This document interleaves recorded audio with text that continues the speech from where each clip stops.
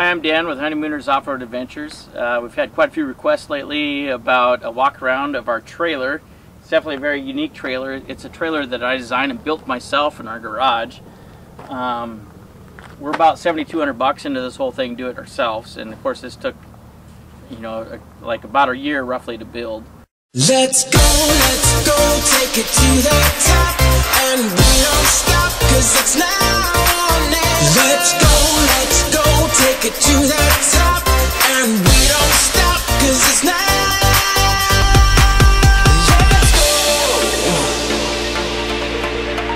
Just starting with the very front of this trailer. Um, I have the lock and roll hitch. It's a six-way pivoting hitch on it. You can find it on Amazon for about 250 bucks. Um, and then I have these that I bought from Harbor Freight. This basically will lock this in so it doesn't have the slop up and down. So basically there is no movement outside of the pivot points on my hitch, which is really nice for four-wheeling, uh, especially when you get into some technical stuff. You don't want that slop that's going to throw you over or prevent you from climbing or whatever it is that you're going. Uh, moving back, I have 10 gallons of fuel for the Jeep for extended range. I have a 20 gallon propane tank that feeds our cooktop stove and we actually have an oven too which you'll see a little bit later and we have a hot water on demand that this feeds. Uh, moving up from there, as you can see, we have solar panels. Uh, this here is 200 watt on it. I have a pivot point here where it can swing out this way and point that way. And there's a pivot point in the back over there that'll cause it to swing out this way. And then, as you can see within the zoom in, there's that arm in the back there. I can adjust that for the angle if I need to adjust the angle of it. Um, and then on top of that, I've also got uh, 400 extra uh, portable solar panels that I can plug into this system. It's a plug and play system, so if I ever need more. Uh, this currently houses pretty much all of our needs right now, but then when it's cloudy or very cloudy, it doesn't quite produce everything that we need, and so I have these extra panels to also add in there. I'll do a video a little bit later, I'll put the link in below for you.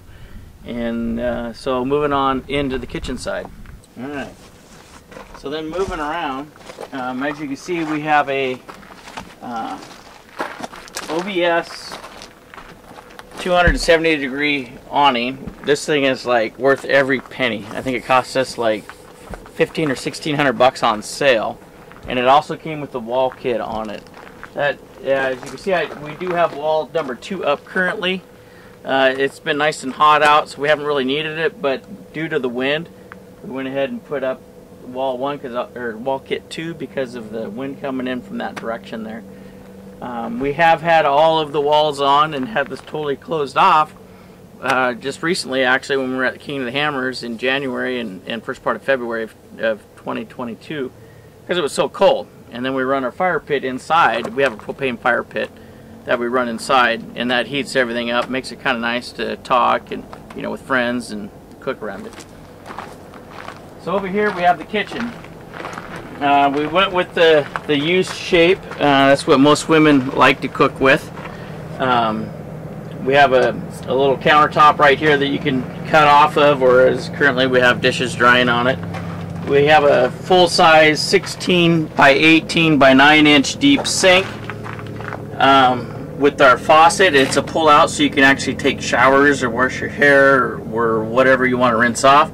We do have hot water on demand uh, 15 gallon water tank on that. Uh, moving over this way, you can see right here we have our control panel. Um, I used to have these two here because I had actuators on there to raise and lower the tent. However, uh, due to Montana weather, that did not work out well. Uh, and then I've got, this is a switch for our water pump. Uh, we have a CD player slash radio, that's what that one's for. This one here powers our diesel heater and gives us power to our rooftop tent. Um, this one here, uh, we used to have lights out on the awning. That's that was always kind of cool because it would shift multiple colors and beat to the music. That was fun. But we swapped awnings, and so we don't have that anymore.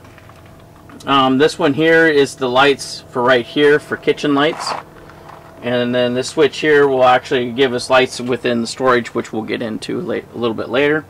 And then we have a spot here um, where currently we have like spices and some of our kitchen utensils held within there. Um, right here we have a 95 Dometic uh, fridge freezer. Uh, that's worth every penny. I think we spent like 950 bucks at the time when we bought it, and that was like three years ago. Uh, this right here is definitely a must. I don't see this on any sort of uh, overland trailer whatsoever. This cost us about $200. It's a Camp Chef. Um, we have dual burners. This is 7,000 BTUs each. Uh, I think there is a newer one now where they're 9,000. And then we also have an oven. So you can fit a 9 by 13 uh, or, you know, tray in there nice and easily. And that thing's been very nice. You know, it's nice having warm muffins in the morning or cinnamon rolls or maybe even do up some pizzas in the late afternoon. You know, it, it's definitely been kind of a cool thing to have on board. Um, all right, so then also right here we have a shift pod.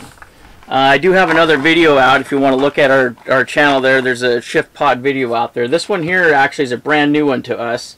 Um, my video is on the shift pod XL and that one is 14 foot by 14 foot by seven and a half foot in the, in the ceiling and it takes me less than two minutes to set up and to tear down. It is an awesome piece of equipment. Um, this one here is 12 by 12, roughly, just a little bit shorter. Uh, and I think it's six and a half feet. Uh, so please check out that video also uh, for Shift Pod. And then as you can see walking back in here, we have plenty of room in, here with the awning. Kind of, you know, we have our little propane fire pit and whatnot and set up. You know, as far as a, a size out, basically from the trailer to where the wall kit meets the the ground there is almost 12 feet right there. So we got lots of space in here. All right, now moving to the back. Um, so I have hardwired in up here. It look, it looks like it's a 110, but it's not. That's actually a 12 volt DC. Um, I do have an inverter. I have two different inverters. I've learned a lot about inverters on on this track. Originally, we started off with a 2,000 watt inverter and it was just too much and it would drain the batteries down. I went to this 400 and I can run this puppy all day just off of the 200 uh, watt solar will power everything in this trailer non-stop. Um, we do have extra solar panels for those rainy nasty weeks but I mean we've gone five days without having to charge um, without good sun and then with good sun it's we have unlimited power. Alright so moving in to our storage area here. Uh, a little bit messy. So right here we have a five gallon lifesaver. Um, and basically I can pull out of a creek, river, whatever, and it'll filter the water. So this is where we get our actual drinking water from. Um, we can also use it to fill up the trailer too if we need to. Uh, but most of the time that's just our drinking water is what we use that for. Um, as you can see back here, uh, we have a hot water on demand unit. I have a 15 gallon water tank that's back in there. And then moving over here to this side, um, you, we've got all the way up towards the front there of storage. So basically everything that's out here, everything fits inside. And then on this side right here, behind this door, I have two 100 watt gel uh, deep cycle batteries in there. Uh, the the Renogy versions what I went to. Originally I was running the uh, Walmart deep cycle marine batteries, you know, with the um, acid in it. They work great, except for with all the bouncing, because we take this thing off-road and it gets airborne. And that ran into some issues. Walmart was awesome with their warranty, though, but now we've moved up to the Renogy ones. And then the other nice little thing we have right here is our little icon, Honeymooners Off-Road Adventures. A, a very cool friend of ours made this for us and we love always just showing this thing off and having it up we turn it on at night and it lights up you know it's a pretty cool thing to have along you always got to have your little nugget so then over here in the side pocket I've got a little bit more storage um, this is where a lot of my tools and miscellaneous thing goes we have a couple of USB charging fans that we can put up to move air around um, I have my ducting for my diesel heater um, and then this is the 2000 watt um, inverter over there. And then the rest of it's just miscellaneous tools and whatnot.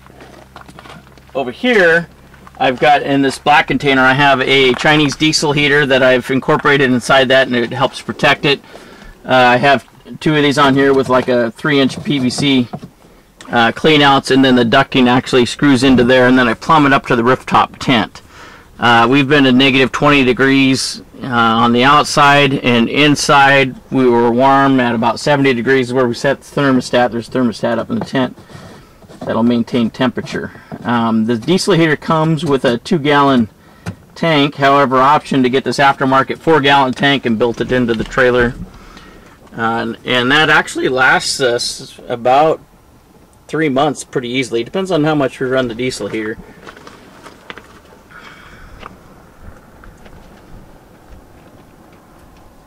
And then if you're also probably notice these little black things right here.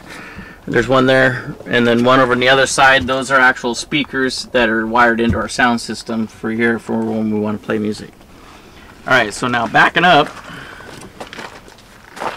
here we have our, our rooftop tent. Um, it's a Alpha 2, uh, so it's a 2 plus person. I currently have the rain fly off on it. Um, pretty much like to run that way as much as possible because of wind noise, you know, with the flapping and whatnot. And then plus two, it's got skylights in it, so it's nice. in the, you know, especially here where it only gets down to 57 degrees at night, you know, it's really cool to have that skylight open and see the stars and stuff like that on there. Uh, we've had three different other tents, or two different other tents that we've tried. Um, the first one we had was a Tepui, and you know that was a great tent. Um, the only thing I did not like about it was is that it was a soft shell on the top and in Montana, with the cold, frigid temperatures, it was very hard to do when your fingers are frozen because you couldn't wear your gloves and try to zip. Uh, and then we moved to the CVT. Uh, it was like the rugged duty or something like that, but it was a very nice tent. I loved that tent. It was it was great four season kind of tent. But the only issue was was the same deal. It was the whole soft top thing. Whereas with this one, with the hard top, basically when I open this up, I pretty much just stand right here by this tire and I can open up this whole tent and set it up. This whole tent takes me less than two minutes to set up. Very nice and easy. And then as far as like tear down, all I do is push, well of course after taking these tether lines off. I've had a lot, of high winds and sometimes this will kind of pick up a little bit. Um, but as far as tear down, you just telescope the ladder in, push this over, you grab the top and bring it down. Nice and simple. And let's see here. I guess I can go ahead and open this up so you can get a shot on the inside. How long have you been uh, sleeping in this? Uh, currently, we've been living in this tent for almost a year now. Um, we've been on the road for six months and another couple of weeks. Okay, if you want to go ahead and go upstairs there and have a quick peek inside.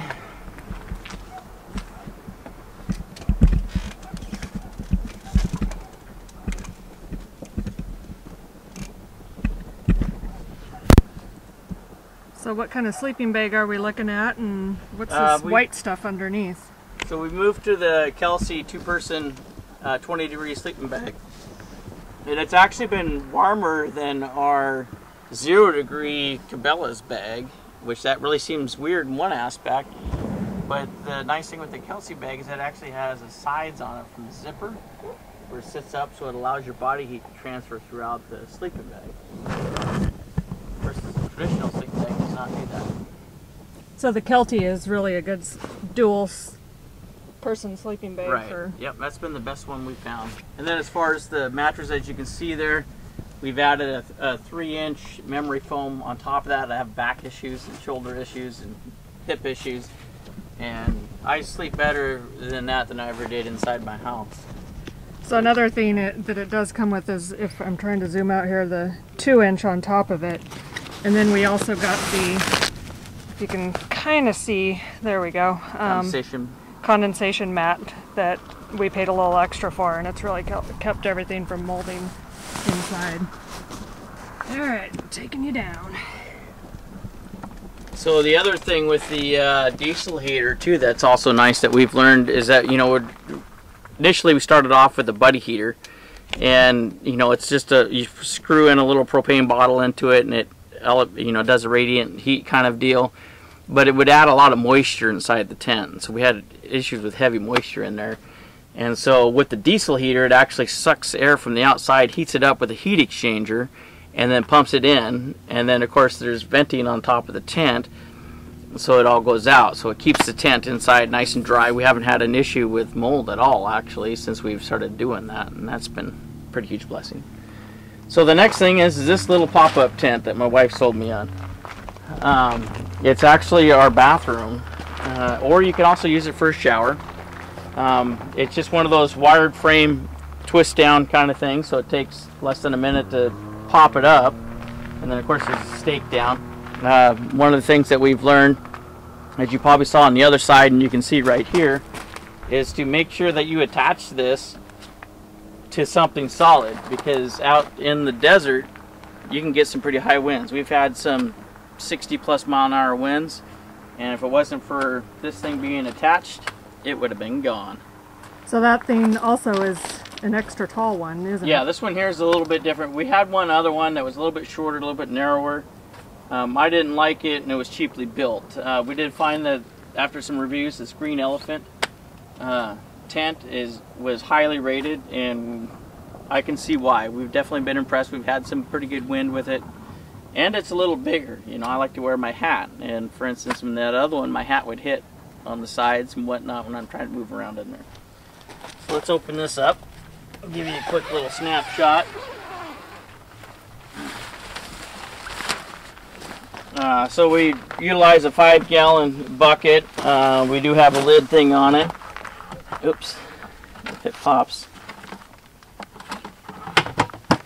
Alright, if I open it up the right way, see we got a little toilet. So basically what we do is, is a makeshift wag bag system.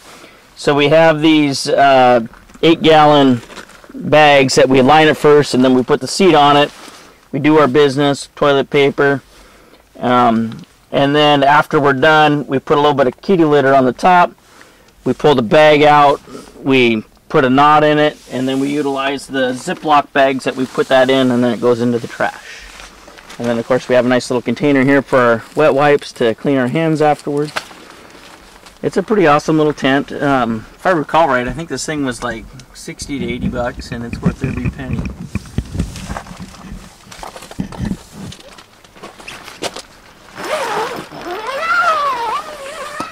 All right, here we are back to the front again. Uh, so that's basically the trailer. So now on the Jeep, uh, I built a door system within it.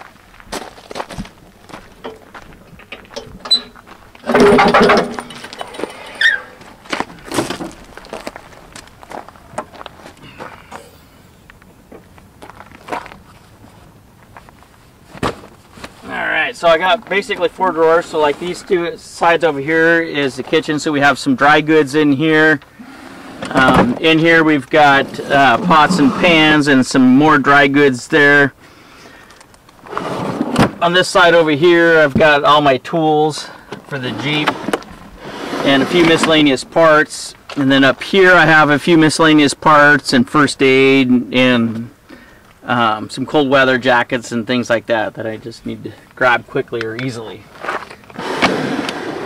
The other thing that we've recently added, and I'm going to do a, a, separate video on these a little bit, are these portable solar panels. Um, definitely bang for the buck, way to go if you need some extra stuff. I mean, basically the way our stuff is set up now, you know, with working remotely and all of our electronics for doing video stuff, we make way more power now than we could ever use, even it, when it's cloudy out.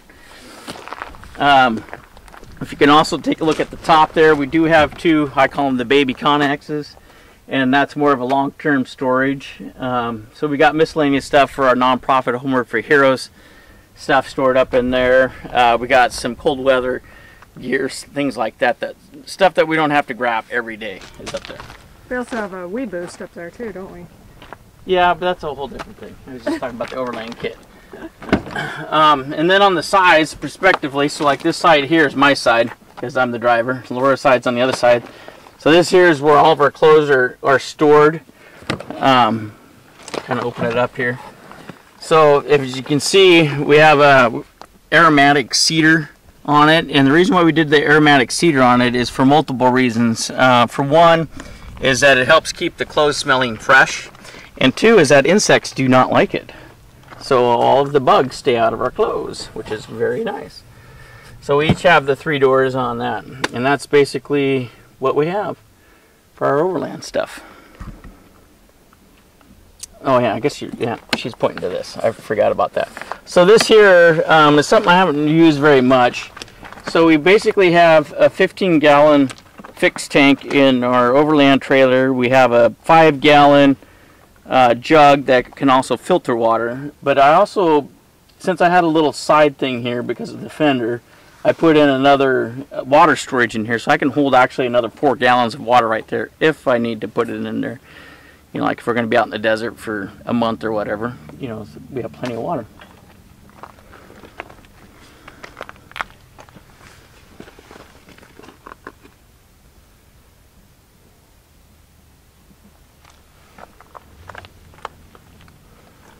And that's all I really have for our quick little walk around on that. I hope you enjoyed it. Um, if you have any questions, please put it in the comments below.